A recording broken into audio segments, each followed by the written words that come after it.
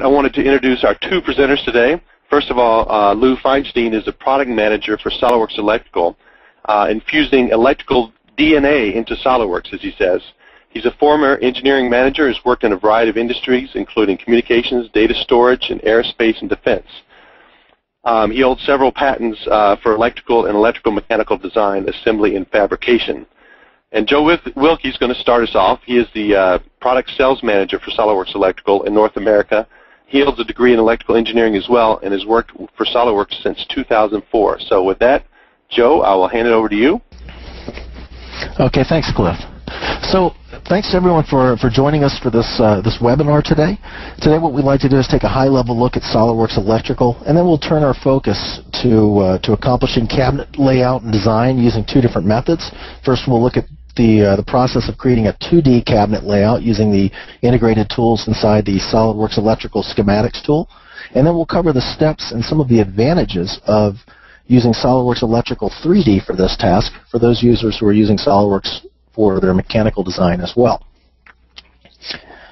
Now, before we start talking about um, electrical electrical cabinet layout uh, specifically, I'd like to share with you what we've observed over the last couple of years working with hundreds of SOLIDWORKS Electrical users around the world.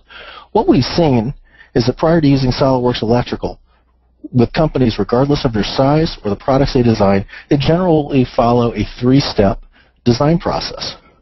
First of all, they need to first of all, they need to draw their systems to establish the logical definition and that means they're selecting parts from online or printed catalogs. They're drawing any special cables that they may uh, they may require for fabrication, and that basically creates the uh, the logical definition of the project. Next, they're able to move on to a documentation stage where they have to document their system in a way that's useful to different audiences. For example, a designer might scan through all of the drawings to construct a bill of materials or document each wire connection that they find in the schematics to make it comprehensive from to wiring list. This task typically results in many manually created and manually managed sp spreadsheets by the time it's all done.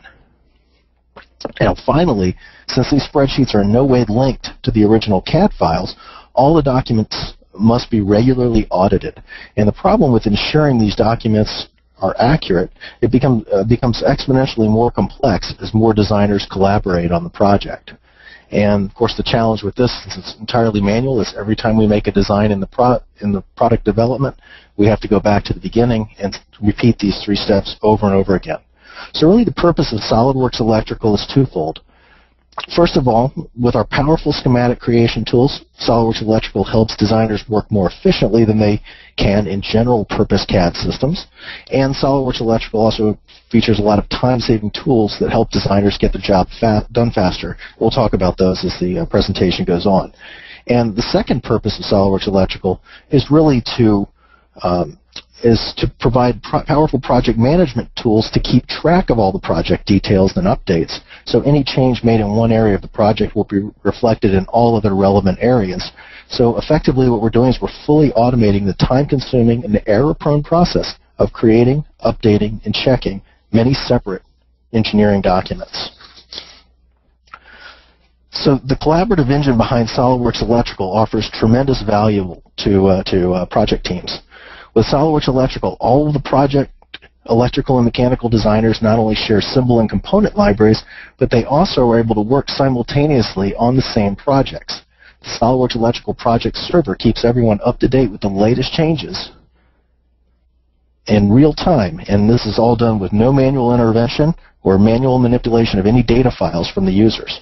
This is what makes SOLIDWORKS Electrical truly the first system to offer a practical approach to electromechanical design collaboration. Now, for the designers, we provide many time-saving automated features, such as intelligent design uh, schematic creation tools, automatic customizable wire numbering and device tagging, automatic terminal strip drawings, and uh, design rule checks. Really, just there's just too much to uh, really describe in, in a 22-minute presentation here. But the point here is that these features help the SOLIDWORKS electrical user focus on the development of their ideas rather than on, on, than on the minutia of manually keeping track of vast amounts of engineering data. And since uh, we, we don't have a whole lot of time to discuss all of these, let's move on to uh, um, the topic of cabinet design.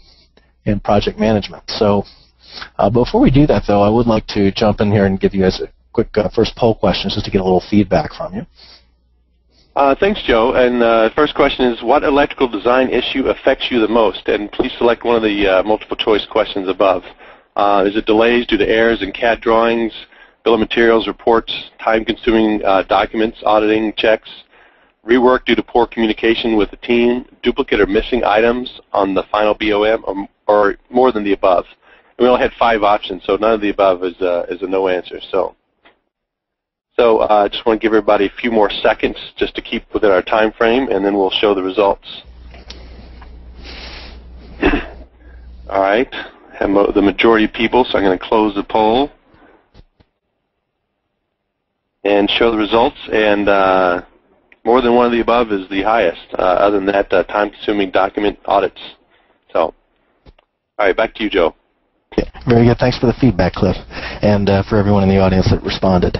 So um, now, when we talk about how we manage our projects and how we keep all this information together, uh, we want to make it clear that the SOLIDWORKS electrical project can include many different document types, and the collaborative engine ensures that every user is up to date. So users can organize their projects into multiple books to facilitate large-scale or modular project designs, and the project itself can manage all different types of documents, including synoptic diagrams showing the total system overview, uh, specific wiring diagrams to give a higher level of detail, uh, more detailed schematics, even, even more detail showing every wire connection.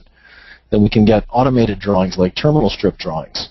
We can do quick panel layouts in 2D or 3D.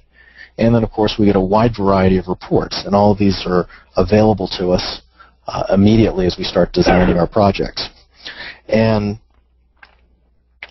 let's what we'd like to do is talk a little bit about the, uh, the content libraries here, because what we're also doing is we're tying together this shared environment with all these different types of documents with powerful shared libraries that all the electrical users can, uh, can work from. And these libraries contain all the relevant part information, such as the manufacturer, the, the part number, and relevant specifications. And it also includes graphical links to all of the different representations of the components. And so by linking all of the symbols or the 3D parts directly into the component database, users can ensure that not only will their documentation conform to the company standards, but they can also ensure that they won't have to waste time either searching for or creating CAD symbols or models. It's all in the library, ready for, for immediate use. And these libraries can be further linked to ERP or other business systems so that designers can make more informed decisions earlier in the design process. And best of all, these libraries can be easily customized with the exact parts in custom data fields using simple import tools and setup wizards. Now, the process for designing a cabinet in SOLIDWORKS Electrical um, is, is really a, a pretty simple uh, simple process because we already have all the information about the, the 2D footprints, the symbols for the uh, panel layout, and we've already created the schematic, so we have all the information for what's in our assembly. So um, before I jump into this process, I would like to interrupt with just one more quick poll question.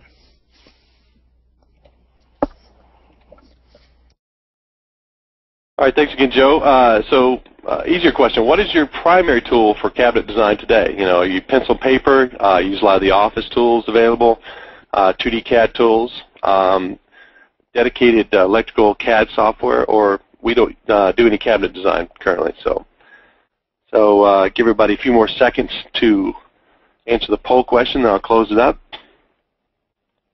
All right. I'll share the results and. 48% use uh, 2D CAD tools, so uh, uh, followed by 20% dedicated electrical uh, CAD software. Excellent. All right, back to you, Joe. Okay, thanks a lot uh, again for answering the uh, the question there. So what we'd like to do is just share some of the benefits of doing the electrical design and schematic. So a lot of you guys are using um, a, a a generic or a general purpose 2D CAD system. And what that means basically is you're creating a lot of documents manually. Every symbol you look for is going to be, um, you know, it's, it's a uniquely placed item and it has to be reconciled against other documents. And so what we're talking about with the, the way our system works is that there's a lot of advantages here. First of all, we're tying all the project documents together and synchronizing them. So your panel layout is actually linked to your schematics, and that's linked to your bill of materials reports. It's linked to everything. Everything's tied together here. Now, when we're putting together our, our system, the schematic tools are very easy and powerful to use. So we can draw schematics very quickly and efficiently, while the panel layout tools let us quickly just grab the symbols for, the, for any of the components we need to put on the rails and, and lock them right into place. We also include some automatic design rule checks and reporting that further reduce the possibility of errors. And these range from real-time detection of short circuits and to, to reports detailing any component terminals that may be unused. And as your project's grow in complexity, just know that we have the SQL-based architecture and the organizational tools necessary to allow many users to collaborate on large-scale projects. The, the process for doing cabinet design electrical is really pretty straightforward. We start off with our completed schematic for the project, and now as the user was drawing a schematic and choosing components, the system was automatically building the bill of materials based on the different component locations. And then the user simply needs to identify which location um, they would like to use for a layout, and then the cabinet the rails and the ducts, just placing them as, uh, as simple 2D entities on the, uh, the panel layout. And then you'll see a component list off to the side of the screen where we can click and just insert the symbols for any components that we want. So if I want to add a symbol for this fuse, I just right click and say insert. And then I can place it in all my other components and quickly create my panel layout. Now, that's uh, that's all well and good, and that's probably not so different than uh, than a process you might use today if you're using you know, predetermined blocks for uh, for some of your components. But what we can offer with SOLIDWORKS Electrical 3D is is an even higher level of functionality here, and a much greater level of realism, as you can see from this rendering here if we take a look at some of the uh, the advantages of this, first of all, we can see visually that we, we have a much clearer picture of what's going on with this panel. We can even get a sense of how cables will be managed inside our different ducts. But the whole point of moving this to, uh, to 3D, what's great about this is that we're expanding that pool of collaboration to include also the uh, mechanical designers as well. This means that Across all my electrical and mechanical design, I'm going to have a single bill of materials and a single set of product documentation when the traditional process of keeping these design areas separate would require further document audit, audits and hinder the, the, uh, the flow of information from one team to the next. Now, Secondly, with, with, when we get into 3D, as you saw from that rendering, we can do a lot with wires. We, in fact, we include powerful tools for managing the paths of your, of your, that your wires will follow, the segregation of, of how, how wires need to be separated from each other, and more. So there's a lot of capability in there. And on top of that, we'll create and manage manufacturing drawings like your panel layouts and harnesses, form board drawings for, uh, for, for wire harnesses and so forth, and your terminal strip drawings. We mentioned calculated reports in the uh, schematic or in the 2D panel layout, but when we go into 3D, we actually have access to more reports because now we know more information. We know the lengths of the cables, so we can give you power loss and voltage drop information. We know how many wires are in each physical diameter of each of those wires that comes out of the system. And and finally, when it gets down to 3D, it's just easier for people to understand than technical 2D drawings. So it enhances communication. In addition, 3D users can perform simulations for damage effect. They can also take advantage of advanced visualization and rendering techniques, as you saw on the previous slide. If we want to take a look at what this process is in, uh, in 3D, it really starts off pretty similar to this, the 2D layout that we showed earlier. First, we start off with our schematic. We choose our location just as we did before, only now we're picking 3D cabinets. We'll insert our rails and ducts as desired into our 3D cabinet model. We can uh, and we can start inserting components. Just right-click, just like we did with the 2D layout. Our 3D parts are available to us. We drag and drop them. They snap onto the rail. And if we want to take care of cable management, we can even add in the some segregation rules. So let's just take an example. Uh, take a look at two different panels. Here's one that's run with no no rules in place. As you can see, you see a red wire here. That's a high voltage wire coming down on this uh, left side. We also have a blue signal wire coming in uh, here to this uh, lower horizontal duct. When we apply segregation rules telling it to keep the high power out of this left duct and telling it to keep the signal out of this um, horizontal duct here, we can immediately see how the system automatically solves the for a better solution uh, while taking our segregation rules into effect.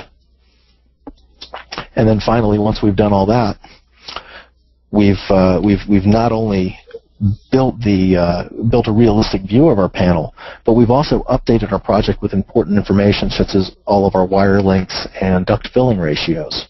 So we know a lot more from doing a, a 3D panel layout. And uh, before we jump into the demonstration, which will conclude the, uh, the presentation here, I'd like to ask one more poll question here.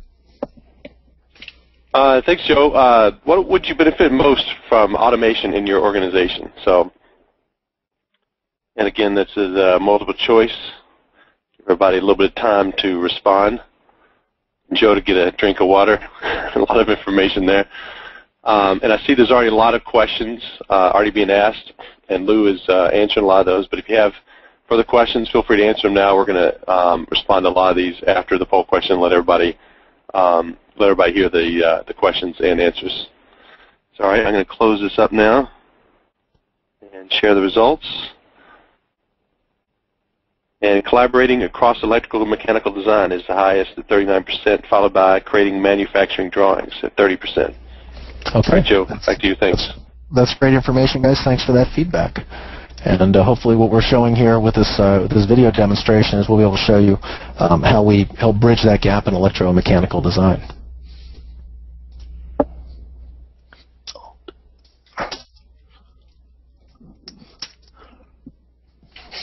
So for this demonstration, what we'll do is I'll, I'll, just walk you through a project in SolidWorks Electrical. Project is a three-module stretch wrapping machine, and we opened it from a project manager. And we'll take a look at all the different documents in this project, uh, starting with our cover page and the automatically generated uh, drawing list. So this is a, uh, really a, just a report from SolidWorks Electrical that uh, automatically uh, updates itself as you add more schematics. The synoptic view, as I mentioned earlier, gives us a great sense of the different modules for this machine and how they'll connect. So this is essentially a drawing uh, from the SOLIDWORKS CAD model, and it's been augmented with some location data. Next, we're looking at the wiring diagram, which offers a high-level view and sh shows how the different components are connected. Now, these wires are smart and they contain a lot of detail, so if I double-click on any cable or wire here, uh, I can drill in to actually see the, the information of each conductor in that cable. And we can also drill into any component to access its information. So let's take a look at this relay here. Um, you'll notice as we click on any circuit from the device uh, down here at the bottom, you can actually see a preview appear to the right that shows its view, corresponding view of that symbol um, for that circuit on the multi-line schematic.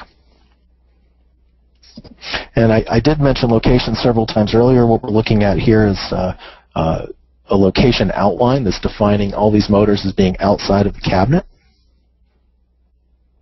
And this gives us a very simple way to organize our projects. We can organize reports um, and, uh, and other documents based on location. You'll also see that as I, as I drill in by location, I can access all the different symbols, which take me straight to the documents where those symbols reside inside the project. So some great navigation tools um, from uh, the, this linking to uh, the search window that you're seeing up on the screen right now. All this just helps you navigate complex projects in no time. Okay, so let's move on to the main power schematic for the project. And here you can see uh, all of the power and protection circuits for our system.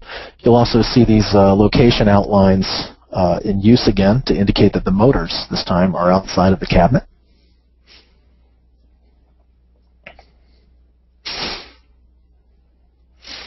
And inside the, uh, the schematic environment, as you see, there's a lot of different symbols here. We're looking at a drawing that's built using our, uh, our IEC symbols palettes. Um, but we offer a lot of uh, different symbol palettes based on different standards. They're all organized very logically. We include really thousands of symbols to, uh, to help designers get started with both uh, electrical, electronic, uh, pneumatic, and hydraulic devices are represented with our symbols. And then expanding on some of these uh, time-saving features, you'll see these symbols have been organized to the uh, left of the screen in convenient palettes for reuse. Now this schematic does include an off-page reference from the output of this power supply.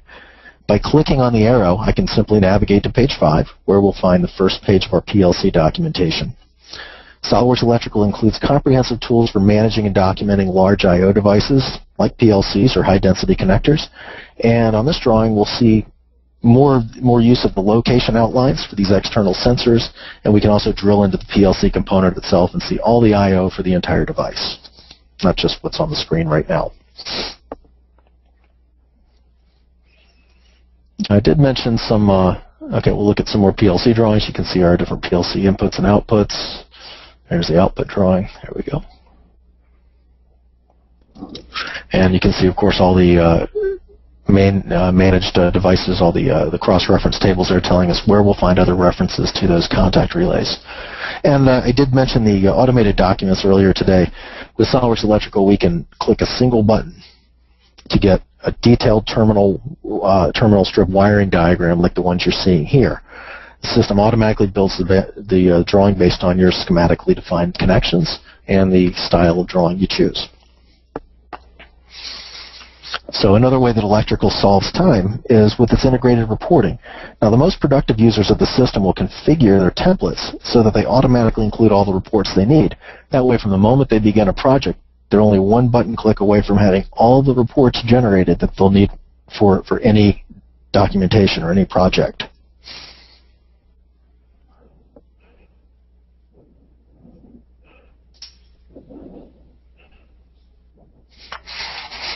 Okay, and finally, we'll, uh, we'll, we'll, we'll, take a look at some of the, uh, the cabinet layouts here. So let's close these up. And the first layout you see is, uh, is was used uh, was created using our 2D layout tools that are included with SOLIDWORKS Electrical. You can see the blue icons over on the side, and then uh, that correspond to the uh, components having the footprint. And then we've already moved on here to the, uh, the layout that was created from 3D. And what's great with this 3D example is you can also see the hole tables that were generated automatically. Because when we place the switches and, then, and the cable gland knockouts on the panel in 3D, the system automatically drilled the holes for us. Those holes are now documented, so I can send this right to my, uh, my shop for fabrication. So let's launch SOLIDWORKS and take a look at this whole project inside the 3D environment. So once we're inside SOLIDWORKS, we'll have access to all the latest project documents. So if we look over at the right-hand side of the screen, you'll see a, a, a, viewer for the electrical project that's open right now. You can access any schematics, any terminal drawings, any really any document I want from the project right away.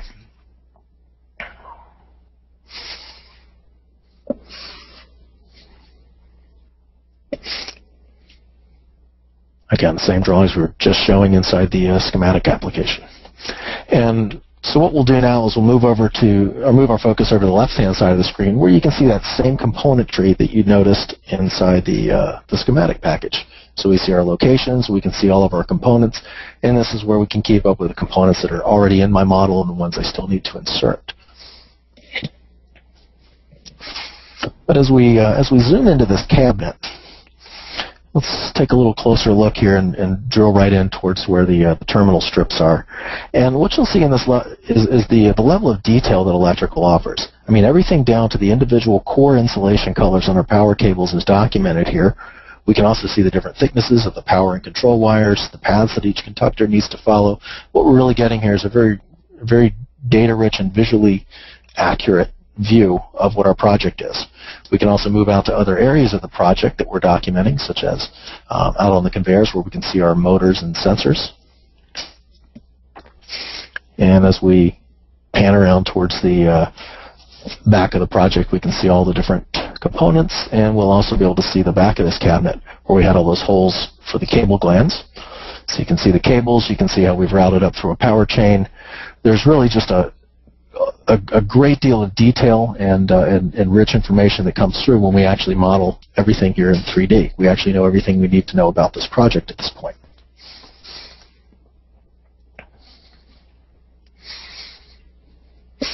And the next step here, we'll, um, we'll take a look at this main electrical closet. We'll just isolate it, and we'll, um, we'll just show you how we how we get through and make the drawings of this. So you saw the 3D panel layout that was done earlier and really, this is just a SolidWorks drawing. So we have our panel. You can see the, uh, you know, the inside of the door here. You can see rotate around to get any view you want.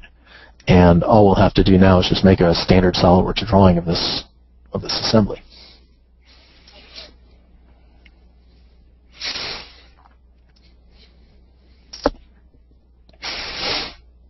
So here we brought the drawing in with the uh, and included the uh, the hole tables as well, so we can see detailed information about where we're putting our routing clips, where we're putting our terminals, exact hole locations based on where we dropped the switches when we were doing our uh, our layout in uh, with the electrical components, and it's all very uh, very powerful.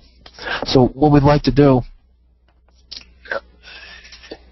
is just wrap up here. Um, so today we covered how SOLIDWORKS Electrical helps companies accelerate their time to market with very powerful, purpose-built, comprehensive project management tools, collaborative working environment, and a great deal of automation. And this is really just a, a, part of a complete set of tools from SOLIDWORKS that aid in the, the design of electromechanical systems. So we cover everything from now schematic design and systems planning uh, all the way to final uh, production. And along the way, we, uh, we have opportunities for simulation, for doing 3D panel layouts, and even getting accurate manufacturing drawings, cable information, really, really the works. So it's a very complete system. We really thank you guys for enjoying us today. I apologize for running a minute or two over, and um, I think uh, Cliff has a couple extra questions for you right before we go. Thanks.